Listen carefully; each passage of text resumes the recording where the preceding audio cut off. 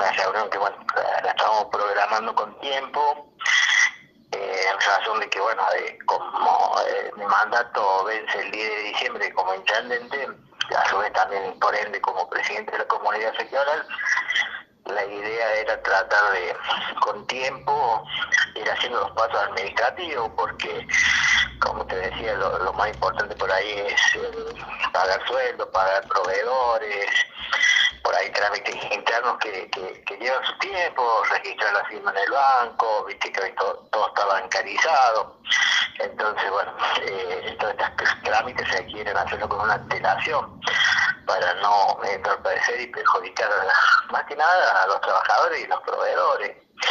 Hoy, gracias a Dios, la administración está bastante ordenada, eh, todo está bancarizado, no tenemos cheques dados a futuro, así que eh, era una reunión eh, en ese, en esa, a eso apuntaba, perdón, y bueno, eh, hablamos con Ariel Lorel, de Italo, que fue reelecto, entonces, bueno, con la idea de que a partir del 10 de diciembre, ya con las nuevas autoridades, él convoca una nueva elección para conformar una nueva lista, digamos, en definitiva, para que dirija los, los destinos de la Bien, eh, eh, Darío, ¿cómo ha sido el balance de estos años, ¿no? Al frente de la comunidad eh, regional. Hay temas que, bueno, están siendo trabajados, proyectos seguramente para, para la próxima gestión. Sí, sí, eh, seguramente eh,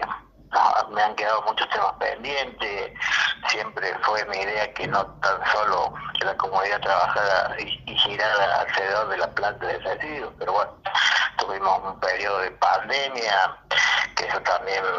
eh, tuvimos momentos muy difíciles porque era difícil ponerse de acuerdo entre intendentes y jefes comunales. Eh, bueno, después de la pandemia había que poner en marcha todos los, municipios y comunas, así que eh, fueron cuatro años, digamos, eh, pero bueno, no, no quiere decir que pudimos hacer muchas cosas, como te decía recién, gracias a Dios, lo que es lo administrativo, eh, la comunidad es nada, eh, prácticamente no tenemos deuda futuro, más que las corrientes, eh, pudimos avanzar en algunas cosas en cuanto a la comunidad, otras quedaron pendientes, como que más tuvieron que ver con, con esta parte de, ambiente de gobierno, lanzó una campaña para proveer a las plantas de ciertos elementos, bueno, quedaron pendientes porque no, no, el gobierno no avanzó, digamos, y, hicieron las operaciones como correspondía, pero bueno, creo que eso queda pendiente para un futuro. Estuvimos charlando con eso, con Ariel, eh, para que eh, la próxima gestión de la comunidad tenga otra visión, no, no tan solo alrededor de la planta, ¿no? Hay muchos intereses pendientes, hablamos de que eh, no trabajamos, eh, hicimos una media culpa en el caso del acceso a Villa que, hace años viene luchando y no lo tiene, que deberíamos haber trabajado juntos para que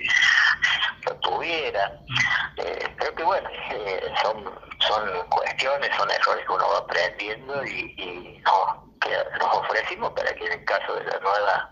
conformación de la comunidad regional, de lo que necesiten, poder asesorarlos, informarlos a través de la experiencia que muchos tenemos de haber participado años dentro de la comunidad, ¿no? Así que, bueno, eh, seguramente, como decía bien, muchas cosas quedaron pendientes,